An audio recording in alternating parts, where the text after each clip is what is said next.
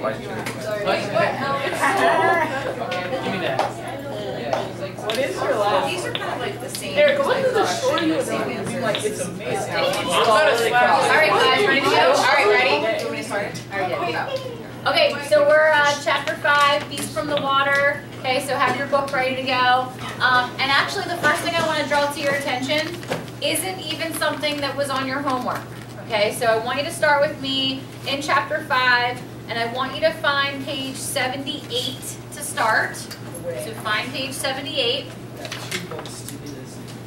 Okay, put a finger at 78, and then we're going to actually travel back. We're going to go all the way back to page 16. We're going really far back.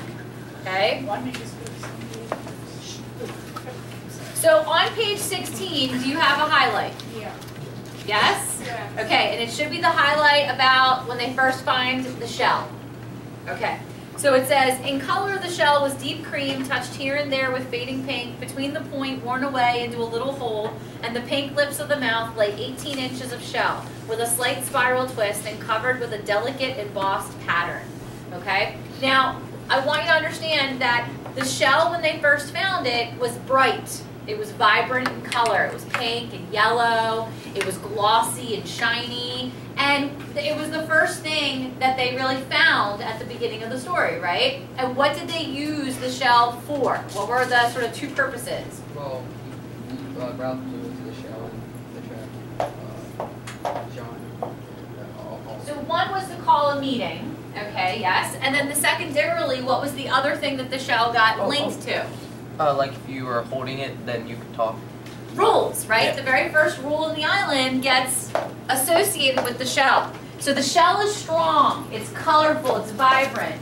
Just as the boys are meeting together, they're establishing rules, they're doing the right things. If you jump now to page 78, right in the middle of the page, there is a description of what the shell looks like now. And there's a change that has occurred, okay?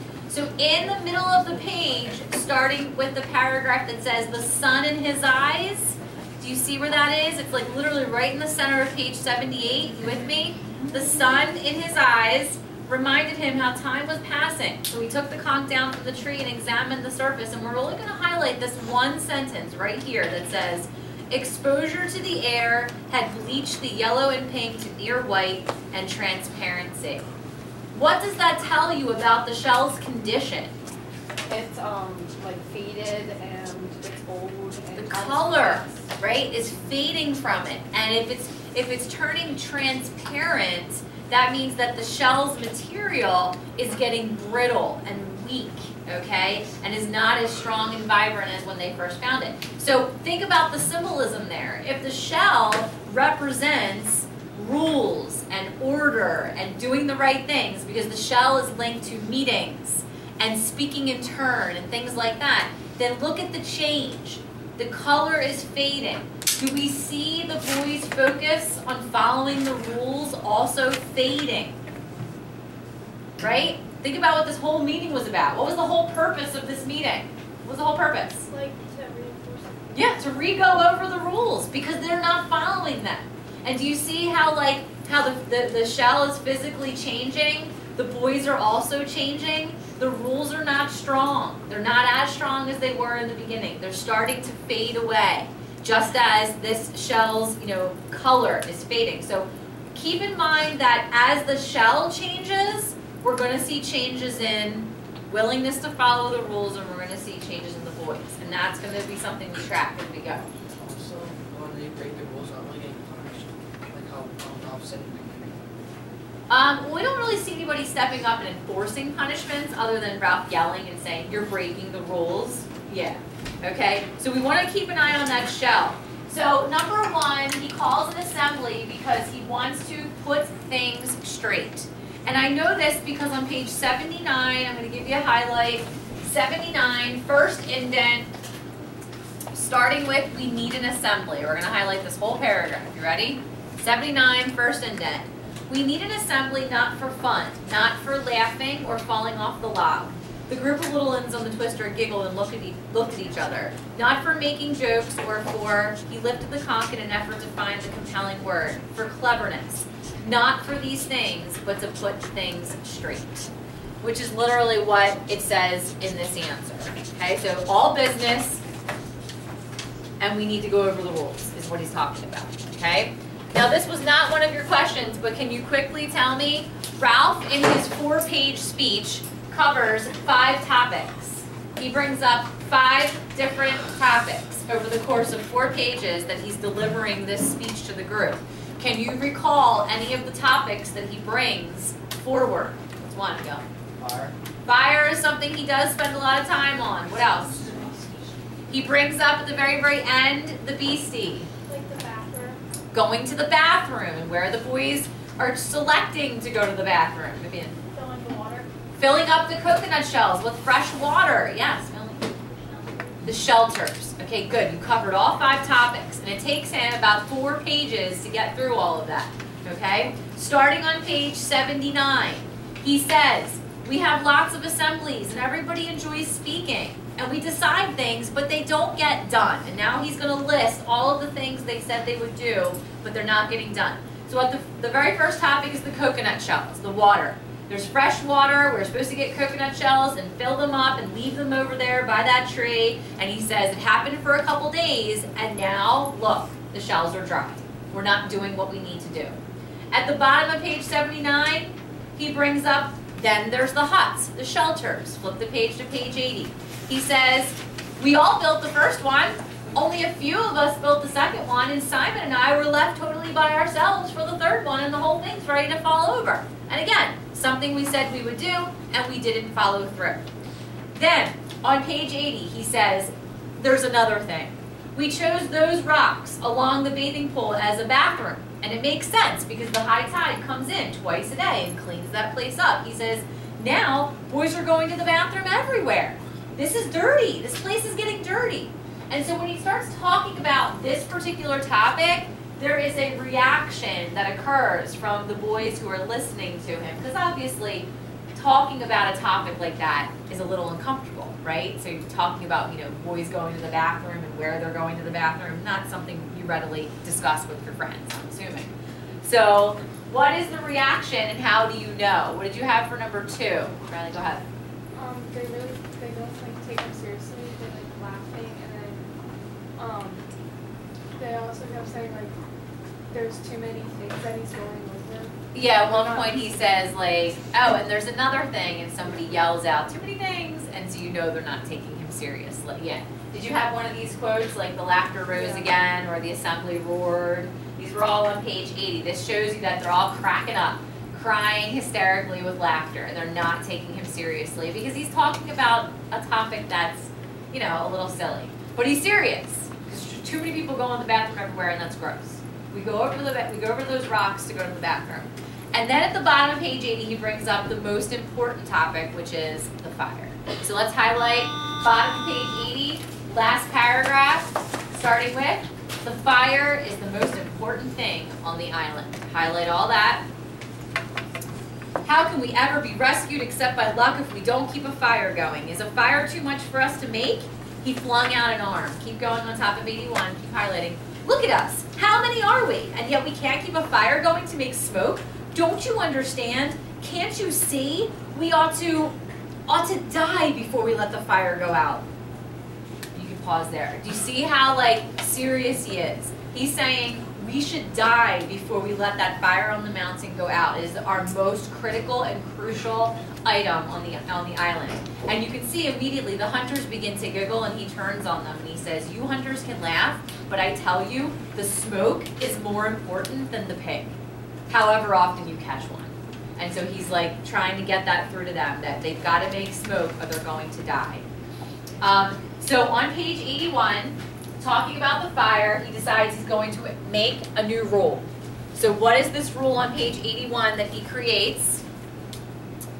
Luke, go ahead. Uh, Ralph chooses to only ever have a fire on the mountain. And why do you think, as if you were him and you were leader, why would this be a rule that would make common sense? Go ahead, Luke. Like if they want to like gather around it or do like any sort of simple thing with it, they have to keep the one on the mountain going so that they have smoke.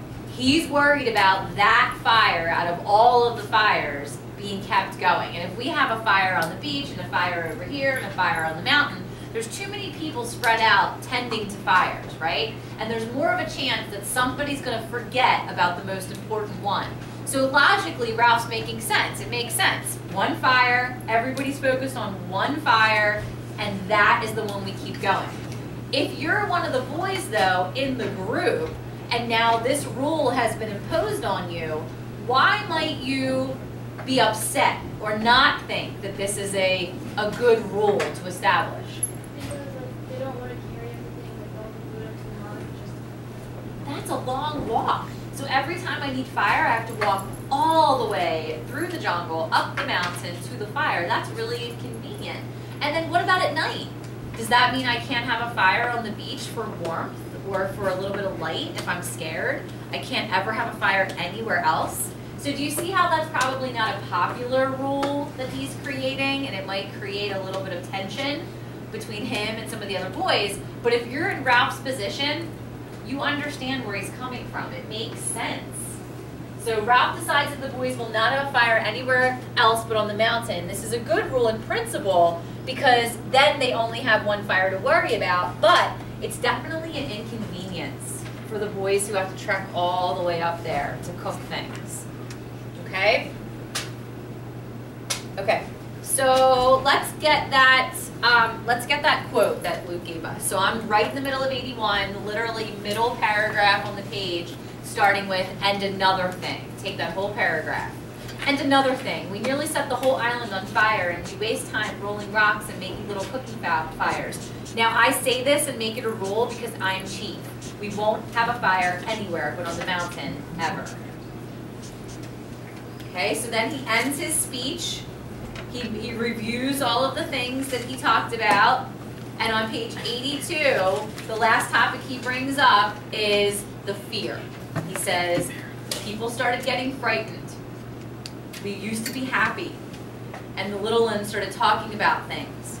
And now we've got to decide about what we're going to do. Are we going to be scared? Are we not going to be scared? We have to talk about this, this fear. And he puts the shell down at his feet, sort of symbolizing that his speech is done and he has finished. And the first person that's going to pick up the shell and talk next is Jack. And so he just starts letting the little ones have it. I don't know why he chooses them to lash out at, but he is letting them have it. And he says, so this is a meeting to find out what's what. I'll tell you what's what. You little ones started all of this, the fear talk. Beasts. Where from? Of course we're frightened sometimes, but we put up with being frightened. Only Ralph says you scream in the night. What does that mean but nightmares? Anyway, you don't hunt or build or help. You're a lot of crybabies and sissies, that's what. And as for the fear, you'll have to put up with it like the rest of us. And Ralph just looks at him like, what are you talking about? And he keeps going, bottom of 82. The thing is, fear can't hurt you any more than a dream. And there aren't any beasts to be afraid of on this island. Serves you right if something did get you, you useless lot of crybabies. But there is no animal. And Ralph's like, what is this? What are you talking about? And Jack says, you said this the other day. You said they dream and cry out. Now they talk. Not only the little ones, but my hunters sometimes. Talk of a thing, a dark thing, a beast, some sort of animal, I've heard. You thought not, didn't you? Now listen, you don't get big animals on small islands, only pigs. You only get lions and tigers in big countries like Africa or India. I've got the conch. I'm not talking about fear, I'm talking about the beast. Be frightened if you like. But as for the beast, and then he says, Am I a hunter or am I not? And all the boys are like, Yup, you're a hunter. And he says, Well then, I've been all over this island and by myself. If there were a beast, I'd have seen it. Be frightened because you're like that. But there is no beast in the forest. So he sort of does a good thing by saying that there's no such thing, you know, no possible way. So that's his position to start. And then he puts the conch down and Piggy picks it up. And on 83 at the bottom, Piggy starts trying to be very logical about this whole thing. And he's saying, of course there isn't nothing to be afraid of in the forest. Why, I've been there myself. He says, you'll be talking about ghosts and such things next. Go to 84. And he tries to be very logical and says, listen, you know, there's no such thing as a monster. Monsters don't exist. I don't believe in a beast with claws and all that. But he does say something, and this was question five, and I know these are out of order, so I'll get this one first and then come back to four. What does he say when he says, I know there's no beast and I know there isn't fear, unless, and then he says, unless we get frightened of people. What did he mean by that when he said that? Because this was question five for you guys. Josh, what do you think? He's talking about Jack. You think he's specifically talking about Jack? the guy that He's punches son slaps. Okay, so And he like, talk- He talks about how he's afraid. Yeah, oh, right. He absolutely. says that He's gonna he can't stop, stop thinking about it because he's afraid. That's true. And if we weren't to take just Piggy and Jack in isolation as these only two boys that are at odds, could we broaden it and just say, in general, if we have more relationships on the island like Jack and Piggy, where you have boys who are at odds and they're willing to resort to physical violence, Jack- could we have a major problem on the island among this group of boys?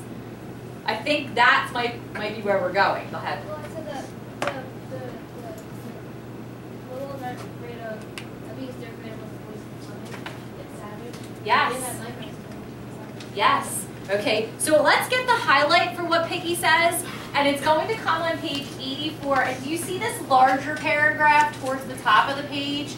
It's in this paragraph. It's towards the bottom of the paragraph, and I'm just going to start reading. Life, said Piggy expansively, is scientific. That's what it is. In a year or two, when the war's over, they'll be traveling to Mars and back. And I'm going to highlight right here, last line of the paragraph. I know there isn't no beast, not with claws and all that, I mean, but I know there isn't no fear either. Piggy paused. Unless, Ralph moved restlessly. Unless what? Unless we get frightened of people. Pause there. And I'm going to take that whole little back and forth between the two of them. Okay, and I think you guys are definitely onto something.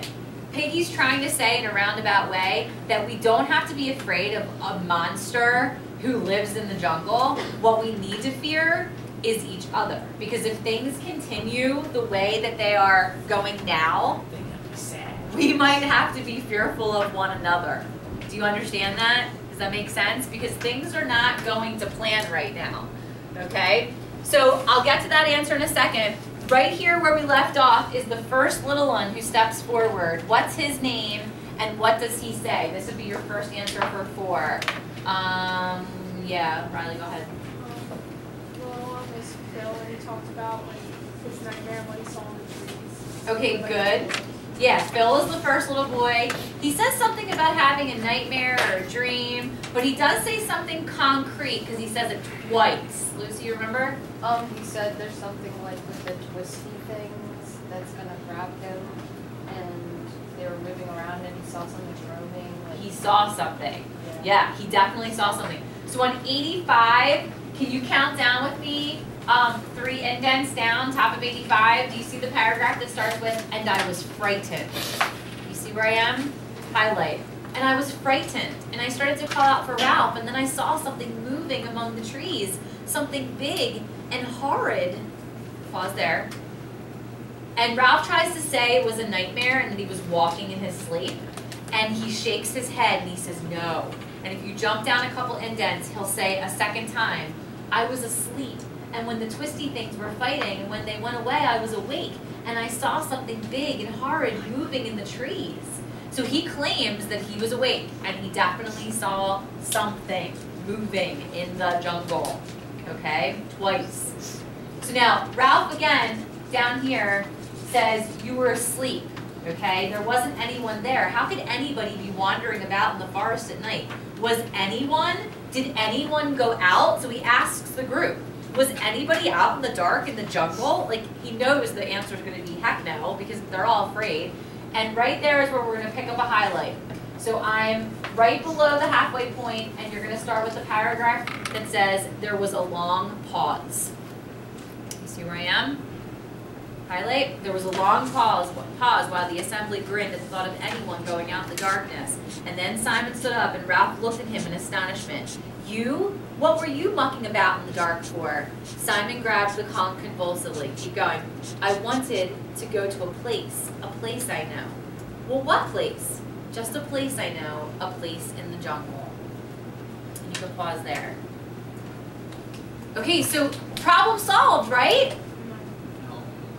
Well, yeah. It should be. He saw something in the jungle. Simon steps forward, right, and says, It was me. There's no beast. Problem solved. Phew, nothing to be afraid of. Great. It's not how children work. That's not how kids work. You would think that they would pick up on this and go, oh, yeah, it was just Simon. Problem solved. But that's not what happens. What happens is Ralph says to him, don't do it again. You hear me? That's the bottom of 85. And then a second little boy steps forward. And who's the second little boy? And what does he say? Which then sends everybody back into panic for a second time. Go ahead. It was Percival and he said he saw something come out of the water. Absolutely. So Percival is the second little boy that steps forward, and he says, uh-uh, the beast doesn't come out of the jungle, the beast comes out of the sea. And that starts a whole wave of panic. Okay, so this happens on 86, is where Percival steps forward. Okay, they give you a whole little blurb about him. Um, they do mention the boy with the mulberry birthmark. Again, did you see that? It said no one had seen the mulberry colored birthmark again. So just one more like, you know, that they haven't seen him. Um, they ask him his name. He tells them his name. 87 people are interrupting. And then 87, below the halfway point, it says Jack was the first to make himself heard. He had not got the conch and thus spoke against the rules, but nobody minded. How is that irony in this scene? Yeah? Just checked. I meant no, no, um, Ralph is yelling at everyone to like not talk when they're on and then he just goes at it. The whole point of the meeting was to go over the rules and put them back in place. And it says that nobody minded. So it says, um, you know, he goes, what about the beast? Where does the beast live? And this is Jack yelling at Percival. And I don't know if you guys caught on, but Percival's a little one, so he's about six. And he, it's really late, and he's probably tired. And so what's happening to him is he's like almost falling asleep, standing up, and that's why he's not answering. And at the bottom of 87, do you see where it says, what does he say? Bottom of 87, highlight. What does he say? Flip the page. Keep highlighting. Jack listened to Percival's answer and then let go of him. Percival, released, surrounded by the comfortable presence of humans, fell into the long grass and went to sleep. Jack cleared his throat and then reported casually, he says the beast comes out of the sea. And what happens on page 88 as soon as Percival says this? Like, remember when somebody was like, make a fire, and all the boys went running up the mountain, fire, fire, and they were all insane? What happens when somebody says that the beast comes out of the sea? What's the reaction of the boys on this page? What kinds of things are they saying? Which sort of like heightens the anxiety level. Well, Maurice said that his dad said he couldn't find all the animals in the sea yet. Daddy says they haven't found all the animals in the sea yet. What else do they talk about? Somebody brings up what? Oh, the squid. A giant squid that can come out of the ocean. Yep, okay, yeah, yeah. So now they're all like yelling, a squid could come out of the water. No, it couldn't. Yes, it could. And they're all yelling and arguing. And right there is Simon. And he's listening to all of this, okay? And I think he feels like, geez, guys, like I just admitted it was me. Like, why are we still talking about this? We have to understand that Simon's a sensitive kid and he doesn't like to talk in front of groups. Like, you know, when kids have like that anxiety to get up in public, you know, do public speaking in front of a group of people, like you have butterflies in your stomach and you start to sweat, you start to shake, you're nervous. Simon doesn't like that, okay? So he wants to say something because he feels that it's necessary to say something, but he's terrified to talk in front of the group. So at the bottom of 88, do you see the very last sentence starts right here and then it continues up to 89. You see at the very bottom of 88 it says Simon felt a perilous and then it continues up to the top. We're going to highlight that. Ready? Simon felt a perilous necessity to speak, but to speak in assembly was a terrible thing to him. Keep highlighting. Maybe, he said hesitantly, maybe there is a beast. Okay, stop there. So he says, guys, maybe there is a beast. But then he gets interrupted. And when he finally can finish his thought, what does he say? Maybe there is a beast. What? But it us. What I mean is, maybe it's only us. So what I want you to do is after he says maybe, maybe there is a beast, I'm going to come all the way down through all that yelling back and forth. And I want you to find, it says Ralph shouted, hear him, he's got the conch. What I mean is, maybe it's only us. And you're going to highlight that secondary part he adds. What does he mean? When you put it all together, guys, maybe there is a beast. Maybe it's only us. What do you think he means? I mean, go ahead. Maybe they're all going crazy. So when we think about fear, what are what's what's the deal with the fear? Why is the fear there? Well, they're all scared. Why? What are they scared of? Is it real? Is it not real? Where's the fear coming from? What? Yes. Why? Saul started to go crazy. Okay. How are we gonna say? Um, I was gonna say maybe like it's um like it's among them and it's like the only like if they believe in it like it's um one of the people that are around them. Well, you, what you said, just, I like what you said, the first part, it's only if they believe it. Yeah. So is it possible that there's really nothing to be scared of and that it's just something that they're creating themselves? Yeah, or it's only for some boys that like. Some of the boys feel fear, what's up? Paranoid, absolutely, okay? And I also like to think, you know, like I throw these questions at you. Um, why was a quarter mile stretch of fire set on the mountain? Why did a little boy perish in the fire by accident? Why did the fire on the mountain go out? Why did a ship pass and a, and a chance for rescue get missed? Why are none of the rules being followed? Right? Why is all of the trouble on the island coming about? Jack. Well, but collectively themselves, they are the ones who are not doing the right things and not focused on the right things and are careless with things. And so they might be the reason why all of the stuff is happening, is what he's trying to say. So not only the fear, but also the reason why things are bad, right? So look, it says he's trying to make the boys understand that the beast, it's them, right? They are creating the fear. They are the beast and the cause of everything bad that has happened on the island. And the boys' reaction to this, if you look right after where he says it, Piggy actually says this. He goes, nuts. They always think that Simon's crazy, that he's just weird or different, and they call him nuts. Like, you're crazy. That's not the answer. And all the boys start to laugh. All right? And so one other piece of quote we're going to take on page 89 is down here towards the bottom. So if you go to the bottom of the page and you count up, it's about 11 lines up from the bottom. And you're going to highlight a little paragraph that says, Simon's effort fell about him in ruins, and the laughter beat him cruelly, and he shrank away defenseless to his seat. So he's totally shot down. His answer, or his, you know, his his thought was is uh, seemed, you know, as crazy talk, and they're not going to listen to him. Okay. All right, 90. Flip the page. Somebody brings up ghosts. They start talking about if ghosts exist. So that just adds to the uh, fear.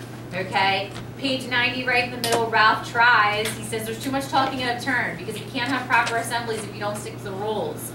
And again, careful, his plan of this assembly had broken down. And he actually apologizes to the boys at one point, says, I, I, sh I should have never called this meeting so late. It's my fault. They take a vote on how many people believe in ghosts, and almost everybody's hand goes up. So Ralph feels pretty defeated at this point. Top of page 91, highlight the world, that understandable and lawful world was slipping away. Once there was this and that, and now, and the ship had gone. Stop there. Piggy picks up the conch, he starts yelling at the group, and I want you to calm down about seven or eight lines, and we're gonna highlight, what are we, humans or animals or savages? What's grown-ups going to think? Going off hunting pigs and letting fires out, and now, pause there. And because he says and letting fires out, Jack immediately gets up and gets in his face. You shut up, you fat slug. And there was a moment's struggle, and Piggy's holding on one side of the shell, and Jack's holding on the other side, and they're pulling the shell back and forth and arguing. And look at Ralph steps in and he says, Jack, Jack, you haven't got the conch. You let him speak. And Jack's face got right into Ralph's, and he says, and you shut up. Who are you anyway, sitting there telling people what to do? You can't hunt. You can't sing. So important. Singing is Yeah, the you're so defining quality. And he says, I'm chief. I was chosen. And Jack says, why should choosing make any difference? Just giving orders. That don't make any sense. Piggy's got the conch. That's right. Favor Piggy as you always do. And he can't believe that Jack just said that. He's like, Jack. And immediately Jack starts to make fun of Ralph. And he goes, Jack, Jack. And he's mimicking him. And we're going to highlight right here the rules, shouted Ralph. You're breaking the rules. Yes, that was my quote. And what does Jack say in response? Who cares? Who cares? And it says Ralph summoned his wits. Because the rules are the only thing we've got. And if you look at Jack's response, bottom of 91, highlight, bollocks to the rules. We're strong, we hunt. If there's a beast, we'll hunt it down. We'll close in beat and beat and beat. So he just got done saying earlier in the chapter that there was no beast, and now again he's saying, well, if there is one, don't I'll you kill it. worry. I'll get it. I'll kill it. Okay? And he jumps off the platform, and in the excitement, all of the boys go with him. Okay, so how he challenges the authority of Ralph is literally he gets in his face and is like, Who are you to be telling me what to do? I'm Batman. That would be my response. Okay? So this tells you a lot, does it not? Who cares? He's starting to catch on that there's nobody there. Okay? Nobody there to tell him anything. All right. So the boys jump down. They all start running out onto the beach in the dark. And what they are doing is they're chanting again with Jack in the lead. And the only people that are left in the meeting are Simon, Ralph, and Piggy. And they're sitting there and Piggy's like, blow the conch and call them back. And I want to highlight what Ralph says because he's right. It's right here in the middle of 92. He says, if I blow the conch and they don't come back, then we've had it. We shan't keep a fire going and we'll be like animals. We'll never be rescued. He knows that if he blows the conch right now and they don't listen, he's really not chief anymore. So he doesn't want to risk it. Top of 93, third line down, highlight. I ought to give up being chief. What is Piggy's reaction? How does he persuade Jack, I mean, um, Ralph, to stay in this position? What happens? I want a new hand. A new one. A new one. Look at how, I've had all these. And is that a hand? Go ahead. Uh, Piggy, Ralph's one. Jack was chief. Go ahead, sorry. Jack was chief. He had all hunting, no fire, we all eating beer for it.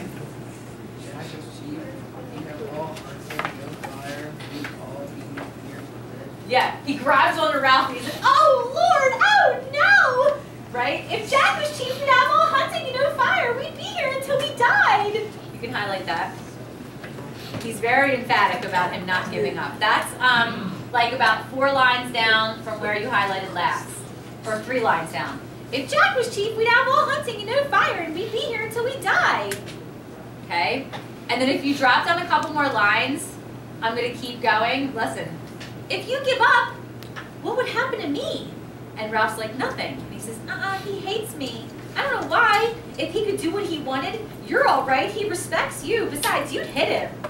And then if you drop down, he says, I'm scared of him. And that's why I know him. If you're scared of someone, you hate him, but you can't stop thinking about him. You kid yourself, he's all right, really. And then when you see him again, it's like asthma and you can't breathe. I tell you what, he hates you too, Ralph.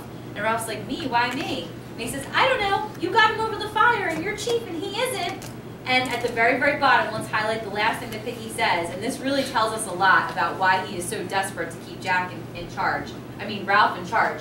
He says, highlight, I've been in bed so much and done some thinking. I know about people and I know about me. And him, he can't hurt you, but if you stand out of the way, he'd hurt the next thing, and that's me. Okay?